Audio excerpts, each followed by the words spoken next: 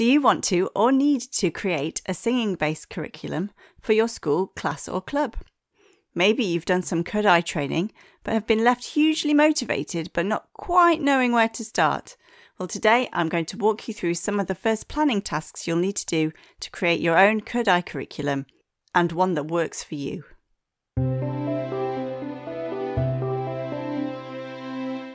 So, an ideal Kodály music curriculum will take a continuous path through many musical elements and skills, each lesson progressing threads from previous lessons at the same time as preparing threads that will stretch into the future.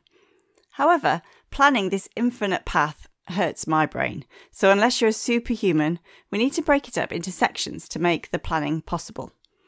So in the UK, we have an average half term length of about six weeks. So let's start there. Which high level objectives shall we cover in each half term? And when I say high level objective, let's be clear on what we're not talking about. I'm not talking about links to a topic. We're not going to be creating a high quality and progressive music curriculum by handcuffing ourselves to the rainforest or World War II. I'm not talking about class sets of a particular instrument. The Kodály approach uses instruments for sure, but not to teach things that can be taught faster, more effectively, more progressively, and more enjoyably than through singing. I'm not talking about preparing for a performance or an event. If there are shows coming up in your school, that's great. I love working with my choir and I think whole school singing is essential. But don't replace our music curriculum with general ensemble singing and expect to see progression and understanding in musical skills or literacy. So, what am I talking about? Good high level objectives for beginner musicians have these seven qualities. Number one, they are a single musical element. Number two, they exist in all music. Number three, they are really specific. Number four, they can be easily explained in just one or two sentences. Number five, they have clearly defined prerequisites or no prerequisites at all. Number six, they have a clear path to the next step. And number seven, they can exist alongside the practice and preparation of other objectives. So, we're going to take you on a journey with Clara to help you decide your own high level objectives. Clara is a primary school teacher and newly appointed music lead who would like to have a progressive singing based curriculum in her school. Clara doesn't want to get overwhelmed, so she's sensibly decided to start with just the first year. She can roll that out to early years foundation stage and year one, and maybe even year two in September. But where to start? Well, Clara loves mind mapping, so she starts by writing down as many musical ideas as possible. How many can you think of?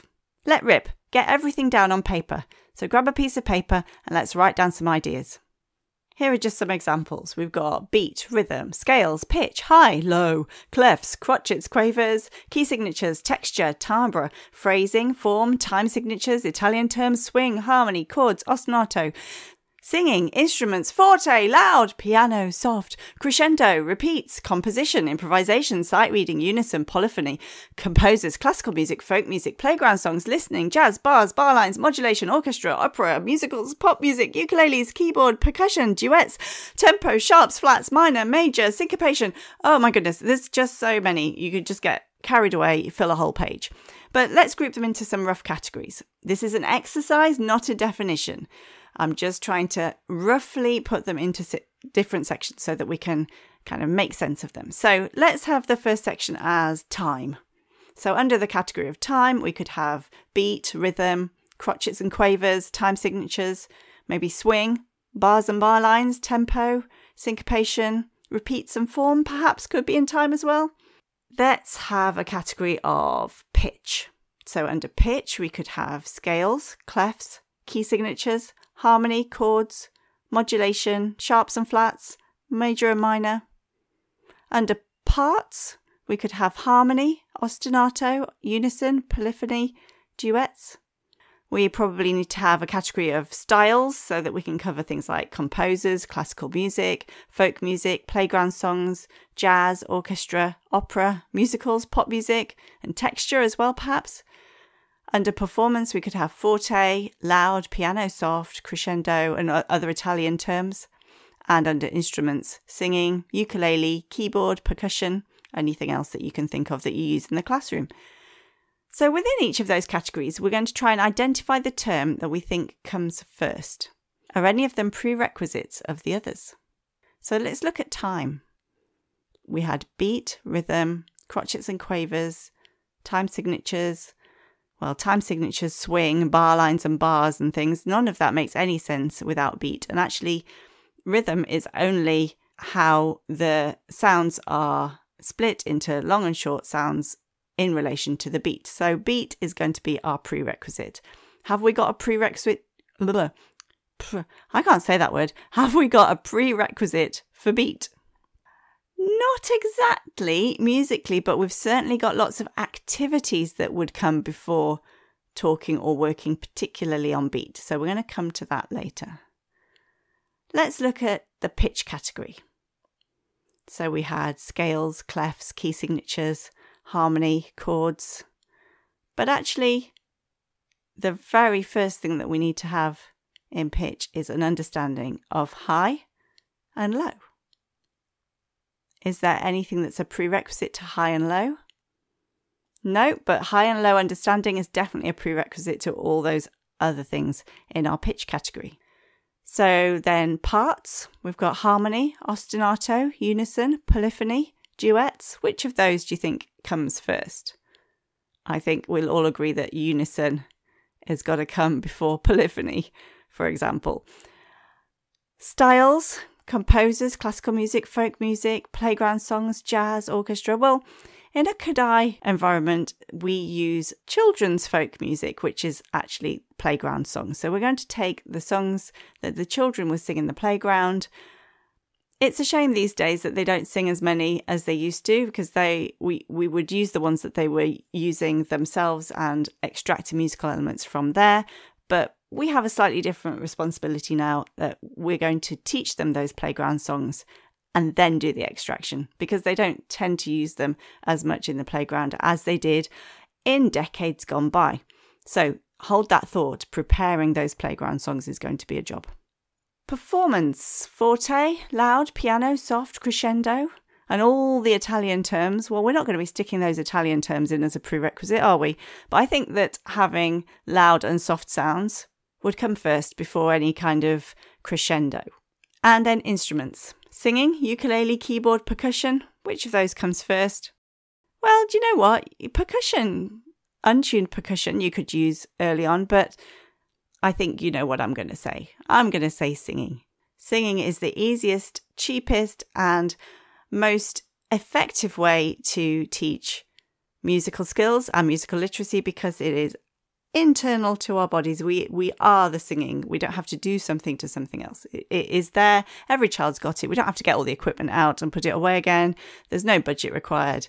I don't think that anybody who's listening to my podcast ought to be arguing that singing is not the best way to start. So we now have six clear starting points beat, high and low, unison, playground songs, loud and soft, and singing. Which of them meet our criteria? Do you remember our seven criteria? Number one was they are a single musical element. Number two, exist in all music. Number three, really specific. Number four, can be easily explained. Number five, have clearly defined prerequisites, or in our case, we've established that they have no prerequisites. Number six, have a clear path to the next step. And number seven, they exist alongside the practice and preparation of other objectives. Well, I think that beat, high and low pitch, and loud and soft performance fit our seven criteria. The other three, singing, playground songs, and unison, are better suited the delivery of the curriculum and they can be utilized throughout every lesson. They're not really as specific and as easily explained as the other three. So, one of the criteria is to have a clear path to the next step. So, if we take beat, for example, even though our task today was to get the first step, we want to make sure we know where it's going. So, for our time category, we're starting with beat, but it's going to lead to rhythm. And when we do do rhythm, we'll be starting with just the idea of long and short sounds. The pitch category starts with high and low. That's going to lead to the introduction of solfa. And for me, I'll be starting with so and me, but a subject for a later podcast on where we start and which tone set we start with because different people have different opinions on that. And then for the performance category, we started with loud and soft singing, but the next one probably would be a crescendo. I think that's too much developmentally for little ones. They can do soft and they can do loud, but they're not very good at controlling in between at that point. So crescendo is going to be pushed out a little bit later. So we've got beat, high and low, loud and soft, followed shortly by rhythm and the introduction of solfa. So we've got to work out which order to do them in. Well, if you know anything about Kodály, it's all about preparation, presentation, and then practice. So before we can present one of our new objectives, we need to have really thoroughly prepared the repertoire first. So it might be that you actually spend your first module, your first half term, building up the repertoire you're going to be using in the future modules, in the future terms. Also, do you remember I talked about beat and how there's no musical prerequisites prerequisites, goodness me, prerequisites for beat, but there's certainly a lot of de- developmental prerequisites. So, movement, feeling the beat, doing actions to the beat, walking to the beat, all sorts of things that we need to do before we can start making the idea of beat conscious. So, again, in that very first half term, that very first module, you could be building up your repertoire and getting started on those physical activities that are going to lead us towards the exploration of beat. And similarly, the high and low pitch is going to be benefited. In fact, it's essential that you've done lots of movement, moving high and low without talking about it, without making it conscious, just in the background with the actions to your games, maybe using some lycra to um, prepare that. So, that first term could be a preparation term. And for me, I think that it's also a term that gets the children used to singing. So, my first term is going to be exploring voice types, focusing on using a speaking voice for rhymes and a singing voice for songs. And that is a really good objective for that first term. And in the background, we're also building up repertoire and physical actions that are going to help support our objectives of our future terms. The next thing to think about is which of those activities are not exactly the easiest, but which ones will need more preparation than others. And for me, I think that beat is one we can do quite early. I think that pitch awareness is something that takes longer to develop. So if we do beat before we do the high and low pitch, then we can use the beat module to continue to prepare that high and low concept. So I'm going to go with a term of singing, a term of beat. Do I want even longer to sort out that pitch awareness? Maybe. Let's throw in a term of loud and soft, and then finally a term of high and low. We can follow that high and low term with rhythm, and then we can follow that rhythm term with solfa.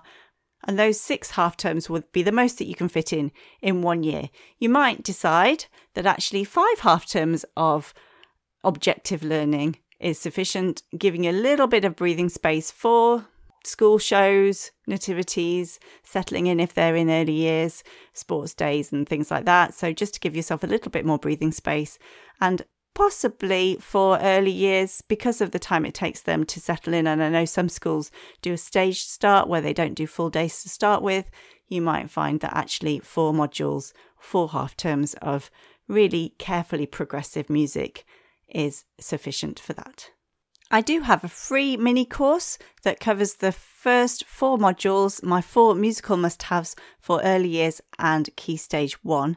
So if you're interested in that, pop along to doremiconnect.co.uk forward slash four and you can download the four musical must haves for early years and key stage one.